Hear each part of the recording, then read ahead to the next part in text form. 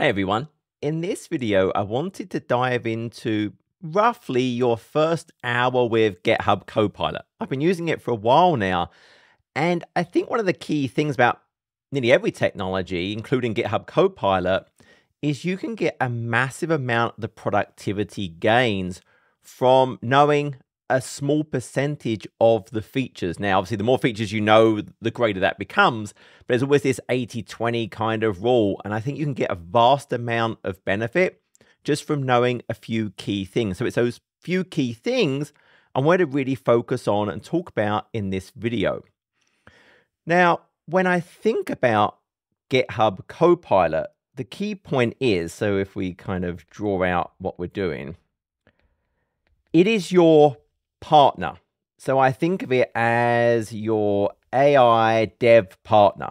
Often you might work with maybe a senior dev who you bounce ideas off, you communicate with. And that's the whole point. It's not someone who just does the job for you, but it's someone you can talk to, you can iterate with, get ideas from, ask for suggestions from. And that is the key point around what is GitHub Copilot? It's doing those same things for you. Now, if we take a step back and think, well, what exactly is therefore this GitHub Copilot? How does it maybe vary from other things? And we always talk about the idea of a large language model, hence why I'm wearing this t shirt. So we can always think about we have a large language model and we, we draw this neural network. And the whole point of this neural network is you have all these different neurons connecting and they have a strength of connection. You hear about these weights and biases that determine how strong the connections are between these different neurons. You'll hear them called parameters as well. And the way this works is there was a huge amount of data.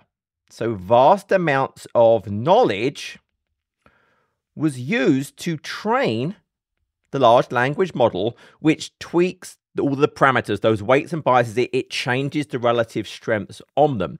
Now, as part of that training of the modern large language models, it also learns vast amounts of information about the world, but it also learns about pretty much every programming language that exists in the world. And then once it's been programmed, what we can then do is we give it some prompt. So I can say, okay, hey, here's my prompt that I'm requesting, and I send it into the large language model, which performs an inference. And what this is doing is it's predicting from a probability distribution the next most probable token. And then the next one, and the next one, until the next most probable token is an end of sequence token, and its work is done. And so it goes through all of this until I get a response. So it's one token at a time, which could be a word or part of word or a symbol. And then I get that result from me. Now, early on for nat- natural language to code, there were specific large language models, neural networks. For example, you may have heard of Codex. But then with the advancements of the more foundational models, then it, it switched to sort of GPT 3.5 Turbo, now 4, and I think that iteration will just continue using the newer and newer versions of the model.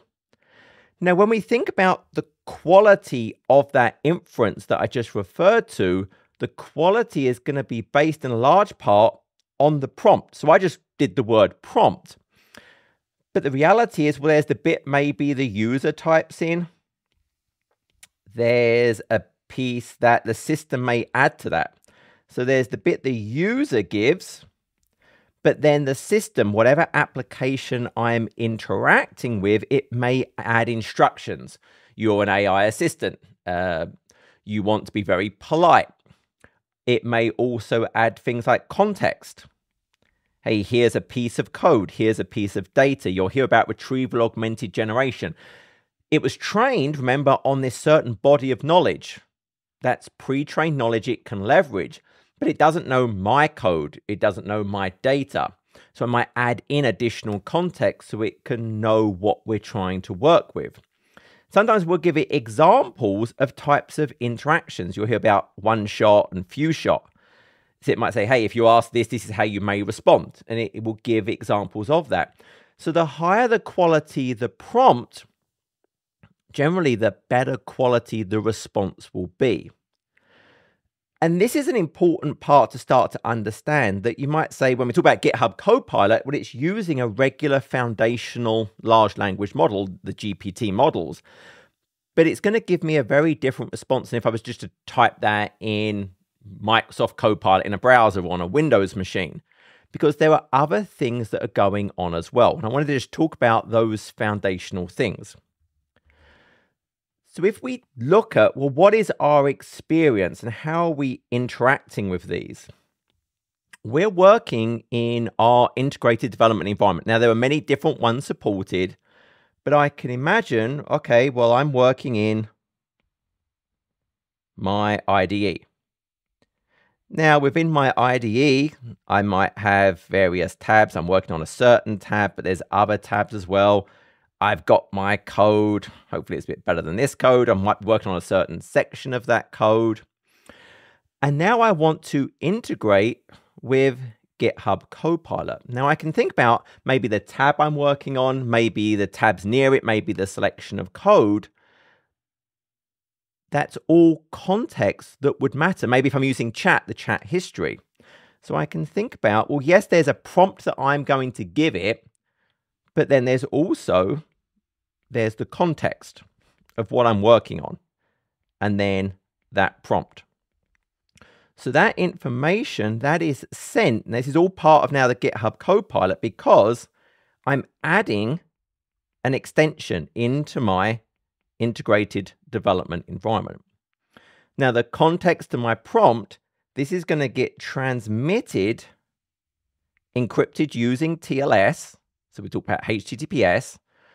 This then gets sent to the GitHub Copilot proxy. Now, this proxy is doing a number of different things for me.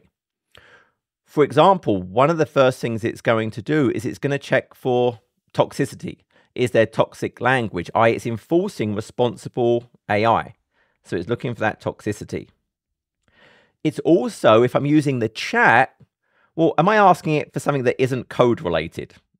Its job is to help you with code. It's your software development partner. It doesn't want to give you cookie recipes. So it's checking for is this actually related to code? Am I trying to do something bad? Am I trying to hijack? Am I trying to do some jailbreak on the system? If I'm doing any of those things, well, it's just going to drop it it, it's not going to let me proceed with those things. It's going to terminate that. But assuming it's not doing any of that, well, now it's going to go, and I talked about all these different elements of the prompt. Well, it's going to go and create that meta prompt that will actually get sent to the large language model that based on the request I'm doing, the context is going to help construct the very best quality prompt that it can now go and take all of that, construct the prompt, and yes, now it can send it into the large language model. It then goes to the large language model. We talked about how it's going to generate the response. And then once again, now that response goes to that proxy. And once again, it's going to check for things like toxicity. Is there something bad has snuck into there? It's going to look at the quality of the code it's generating. It's checking for obvious bugs. It might remove elements that contain unique identifiers like email addresses or credentials. It's going to look for duplicate detection. It's going to apply security filters. So I might think of very common security vulnerabilities. It's going to get rid of that uh, cross-site scripting, SQL injection. It's looking for those things. And then, of course, it also can check for public code use. Now, depending on my organization, I may have very strict controls over the use of public code within my application. And as an organization, I can configure if that's just blocked, if attention is drawn to it. Even as an individual via my profile in the Copilot section, I can control how I want to do that. And then once it goes through all of those different things, only then through the extension does it become a response within my environment. So that's all the different things that GitHub Copilot is doing. So it's not just I type something in, it's giving it to a large language model to get an inference. It's actually doing a whole lot of other things about responsible AI, creating that meta prompt, give, maybe giving examples on the types of interactions I'm doing. So I get the very highest quality of experience. So that's fantastic. Sounds good. How do I do I get this? How do I get this programming AI partner? So there's a number of things that I require in able to leverage this. The first one is, so step one is I need a GitHub account. That's obviously fairly obvious, but I have to have a GitHub account, and that's free. Then what I have to do is I have to add a GitHub Copilot license. Now, that license is probably going to come from your organization. Now, there are different licenses, but even organizations can give this to you. But even as an individual, I can purchase this as well. So if I was to look, for example, at different options, there's individual, there's Copilot Business, there's Copilot Enterprise. They have different price points for those. But I can go and see what's stored, for example, conversations tailored to your organization's repositories. So it can actually go and add in additional code if I'm using that enterprise level. Code completion options, inline chat prompt suggestions, public code filters. Notice it's there for all of them. Data excluded by training. So this is an important one. So for the those business ones, nothing is ever used. Your code is never used for the training, but maybe your prompts might be. So for the individual, it's not excluded by default. If you go and look at the Trust Center, it does talk about security. It talks about the privacy elements. It talks about how does GitHub use the Copilot data, and it goes through a lot of details so you know exactly how it is and it isn't, what you can use. So here it talks about business and enterprise. Is it trained? Nope, never for those elements. So you do have control about what it's doing and how it's using uh, those various elements. You can go and check, and I've got the links to this in the documentation. So I have to have a license. Once I have the license, well, now I have to go and add the extensions to there. So I talked about the extension before, but the reality is there's actually two extensions. There is a base extension, and one of the most common keystrokes you'll use is the control, or if it's Mac, I think it's command plus I. And that will bring up this little interactive ability to go and start interacting with the GitHub Copilot. So there's the base, and then there's also the chat, which is the control, command, if you're Mac, shift, and I. But also there's little icons. And we're going to go through detail of all of this. But I need to install those extensions. Now, if I was to jump over for a second to our code editor, so what we'll be doing is we're going over to extensions. And what we're looking for here is, if I can type, my keyboard's over here, GitHub Copilot. And we'll see there's two. So I want to install both of these extensions, so GitHub Copilot and GitHub Copilot Chat. So I'm going to have those installed on my machine.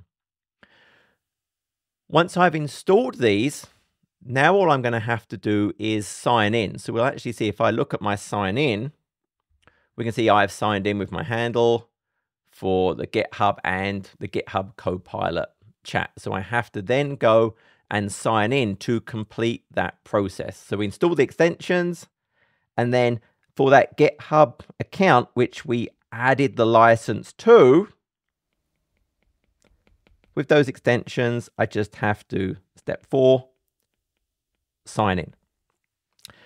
And that's it. So I've now done that section of everything I have to do, and I'm ready now to start using it. Woohoo!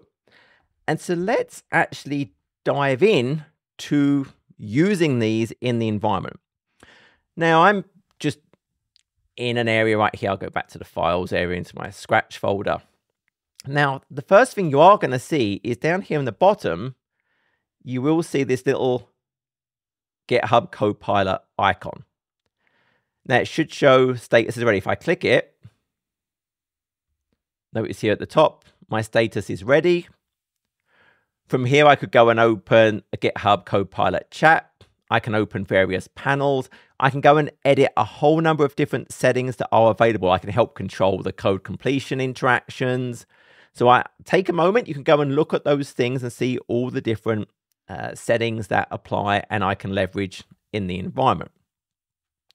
Now, one thing I do want to stress here is there's a, a whole set of best practices when I deal with large language models.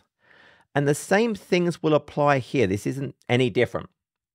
I want to think about having short, simple, specific prompts. Remember, it is my partner. I cannot say, hey, go and create me a Minecraft clone. It's gonna be like, I can't do that. But instead, break it down to specific aspects of what I need. It can help you create a function. It can help give you suggestions. It can help refactor my code.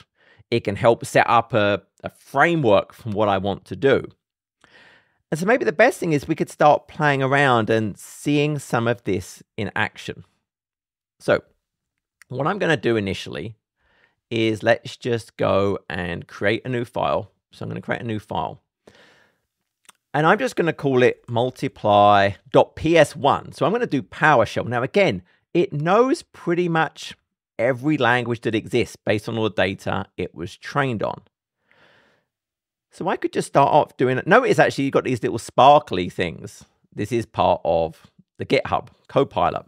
But if I just do a comment, so if I were to say function to multiply to numbers and return the result.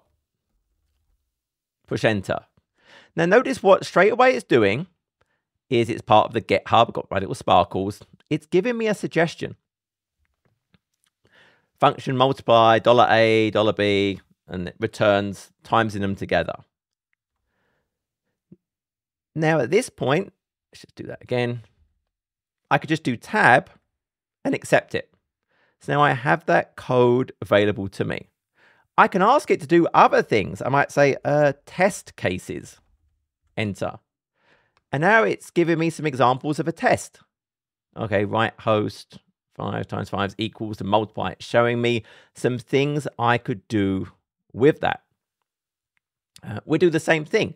So let's open another test file. This time we'll do a JavaScript. So we do a new file, multiply JS. And we could do exactly the same idea. Uh, function to multiply two numbers. Uh, that's not great. I don't love that one. Now, sometimes you'll get options it would show you, but I'll just do enter anyway. Sorry, tab. And then I'll just wait, and now it's showing me the rest of it. So I'll just tab again. So I'm not actually doing anything. It's helping me as I go. It's suggesting the next thing and the next thing that I can do. And once again, I could do things like test cases. So I could do, hey, uh, test cases and once again, it's given me some options I could do there. I could maybe ask it to do some other stuff. So let's select this bit of code right here. Now, straight away, I could right click on it. Now, if you look at the right click, I have a Copilot menu and there's some options. Notice I have things like, hey, explain this, fix it, generate docs, generate tests. So there are options I can do. I could also, notice it's got a little icon here, show code actions. I could modify it using Copilot, surround it with different things. But what I'm going to do is I'm going to select this and I'm going to push Control and I. So I'm using Control I. This would be Command I if I was on Macintosh.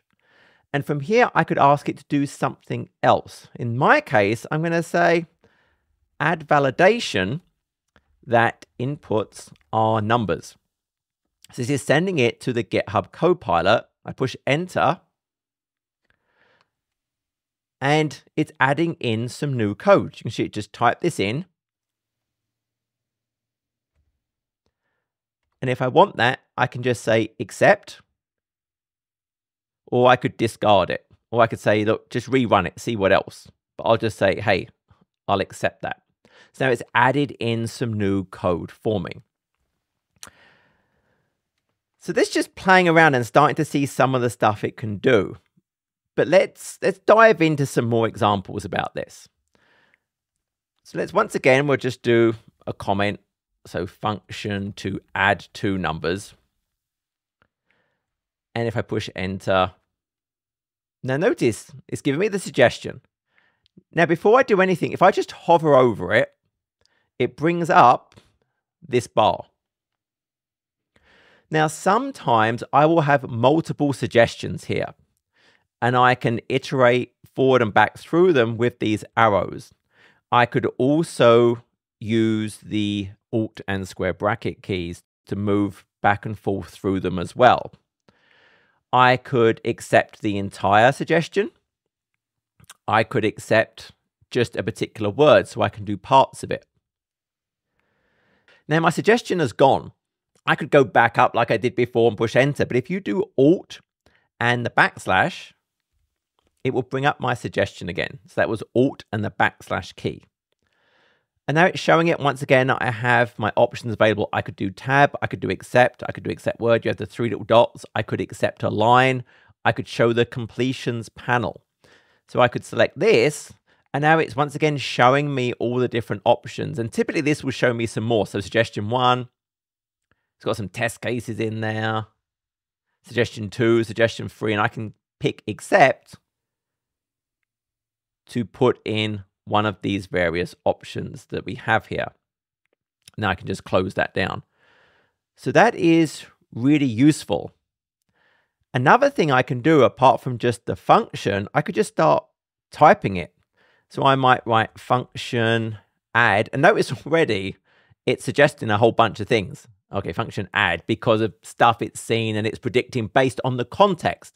So we can see there's a context of multiply. So, hey, add is probably going to be a very common thing you might want to do. So I could just hit tab and get all of that added in for me. So it's really helping me from a code completion perspective. Now, additionally, what about getting some help with what I'm doing. So here I'm just going to select a bunch of code. And from here, if I do Control I or Command I on the Macintosh, which we saw before, I can ask it to do something.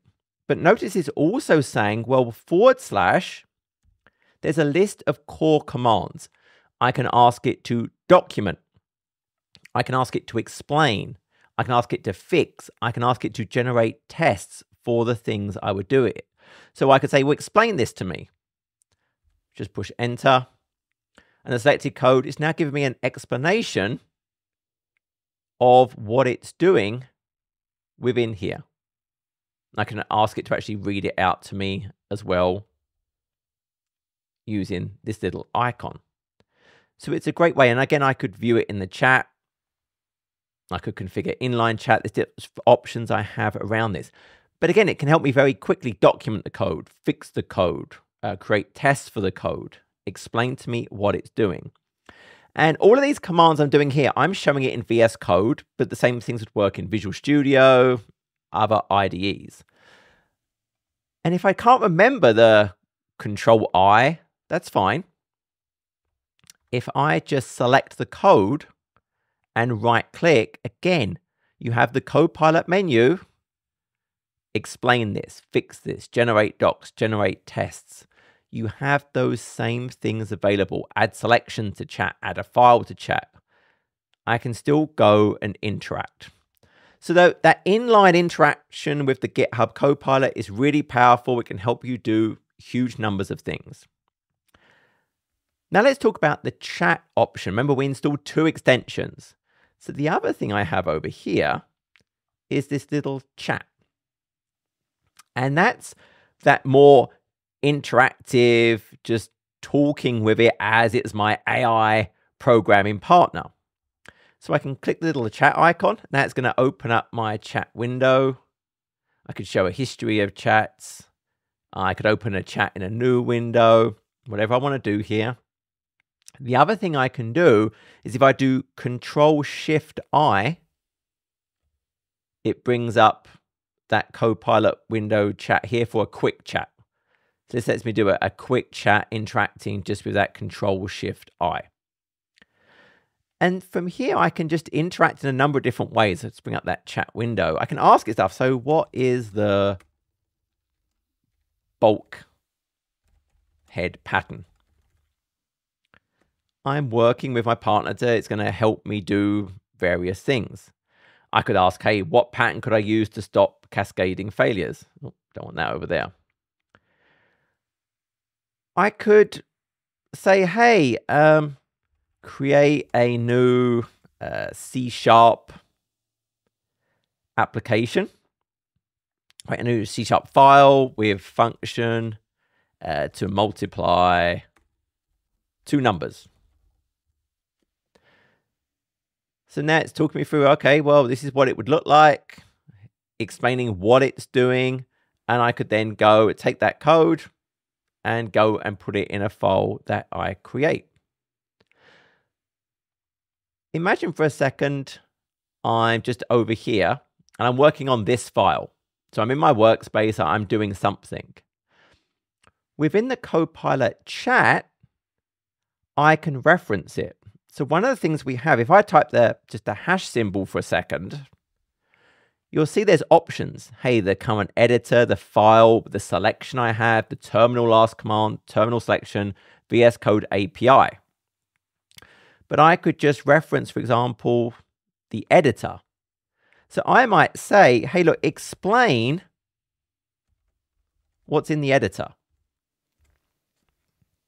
So now it's going to look at what is the current selected tab and then walk through and explain the code that is currently in that editor. But I had all those different options available.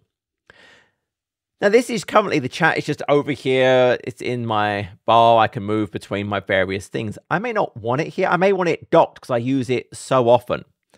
So one of the nice things I can do is I could actually put it in the secondary sidebar. So if I go to view and appearance, and I have my secondary sidebar option here.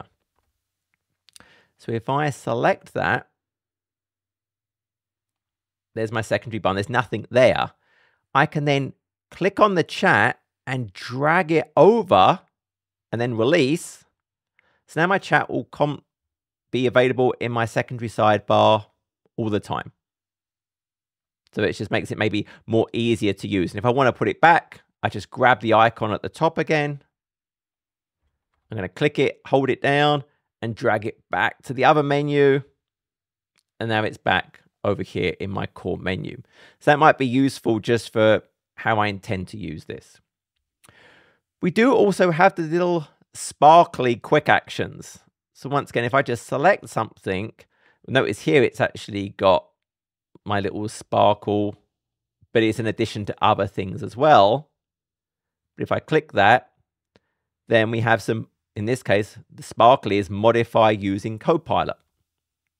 So I can use it to come and help. There might be quick fixes there, for example. Um, let's start a new file. And we do junk dot Python. So we to create a Python file. And I will just type printf hello world. There we go. Now, if I notice it's actually complaining, it's not happy about this at all. But notice I've got some sparklers up here. If I go to this line right here, I've got sparklers. And notice I have fix using Copilot and explain using Copilot. So if I select the fix using Copilot, to fix the error printf is not defined, you can replace printf with the print function. Yep, that sounds like a good idea. Now, this is a super simple, silly example, but you get the idea. It helps me solve what I'm doing. And when I talked about those forward slash commands, if I do it from the chat window, I actually have a bunch of other ones.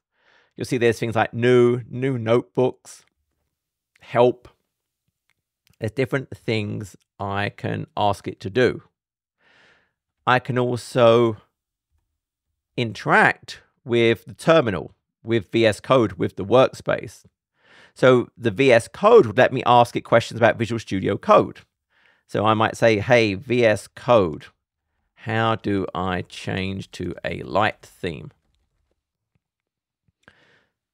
So now it's going through and it will help me in my interactions, in this case, in this IDE, about things with VS Code.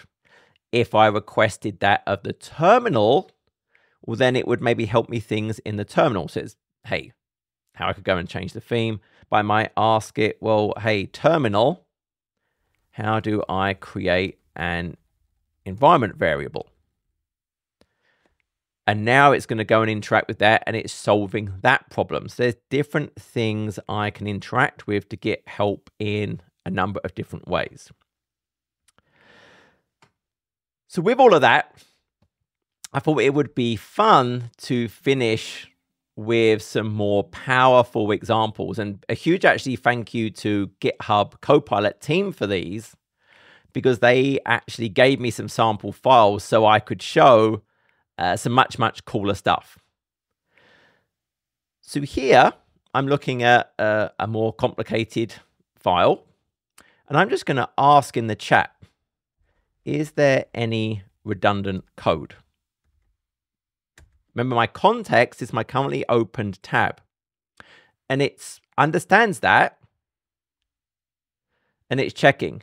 Yes, make the sound method in the animal class directly. If you want to override redundancy, make the code more flexible, you could override make sound in the dog and the cat. So it's given me ideas of what I can do to make this code more efficient. Cool. Okay. If I look at a different file, so this time I might say, okay, if I scroll and look around at my, um, actually that's the wrong file. Let's open up my seller controller file. There we go. And I'll go and look at this function here, this post seller. And I might look at this and be like, hmm, okay. What I actually want to do is can I refactor this code into multiple methods? So now it's going to break down this into these separate methods instead of this one great big, I could ask it to use a strategy pattern. So I could say refactor this code into multiple methods using the strategy pattern. And then it will go and change that into matching what I've asked it to do. Again, it's my partner AI programmer. I could say, well, okay, well, what other patterns can I use? Again, it has context. The context is not just the tab, the context includes the chat history. So it then can start to give me other ideas and other patterns that I could leverage as part of this. I might look at a HTML file and I might say, okay, well, what are the performance implications of this code. So I'm going to see what it's doing here. And it's going through the code. It's even giving me refactored examples to solve the problems that it's finding. But it's going through and saying, well, you're making multiple network requests. Each call results in a separate network request to the API. I've got a blocking main thread. So there's a bunch of problems to it. And I could even ask it, well, obviously it's giving me an answer here, but I could say, well, how can I fix the network request issue identified above? And now it will give me some refactored code that would help me solve that particular problem. And it explains what it's doing. Fantastic. I might use it to modernize stuff. So here I've got a, really old uh, form. And I might say convert this form into a WPF app. And again, it knows the context, tells me what to do, and then it's giving me an example of leveraging that. And I could expand on that. Or maybe I like the style of what it was currently doing. And I could say, hey, I want to keep that using the style capturing of what it currently has.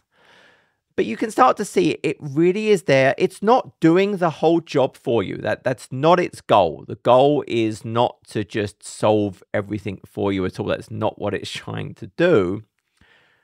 But its goal is absolutely trying to help you with whatever you are interacting with. That's what it's there for. And so hopefully that that makes sense. My recommendation on how to use this would be start to use one thing at a time and make it part of your core muscle memory. So, for example, I might think about, okay, I'm going to focus on Control I or Command I to quickly bring up this menu, to quickly ask it to interact and how to work with this. And then once that's a core part, I'll start to remember, well, I can just do a forward slash, and there are these things to help me here. I might also get the chat up and running. Remember, I can do the Control Shift I to bring up the chat where I am, make that easier to access. And again, just start to work on leveraging those things. But those few core things will bring you a huge amount of productivity gain. So start small, make them a core part of your muscle memory and usage, part of your natural habit, and then you can start to work on more things and more things. So that that's really the goal around it. Um, I hope that was useful. Uh, enjoy uh, getting the most out of your GitHub Copilot. Thank you.